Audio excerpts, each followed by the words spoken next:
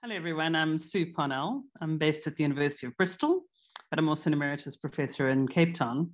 Um, I work on cities generally right at the moment.